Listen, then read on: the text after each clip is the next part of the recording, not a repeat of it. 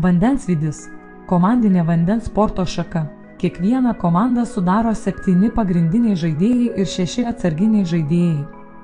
Žaidimas vyksta nuo 20 iki 30 metrų ilgio baseine arba vandens telkinyje.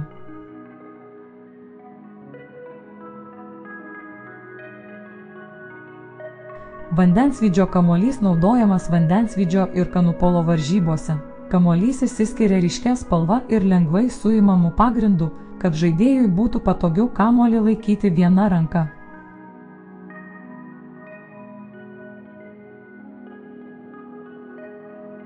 Viljamas Wilsonas buvo XIX amžiaus Didžiosios Britanijos žurnalistas, plaukimo instruktorius bei treneris.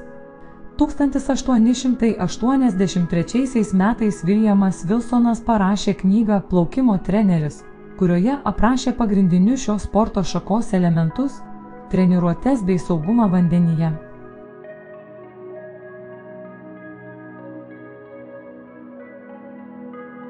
Jei patiko vaizdo įrašas, būtinai paspauskite patinka, rašykite komentarą arba užsiprenumeruokite kanalą Zuikio TV.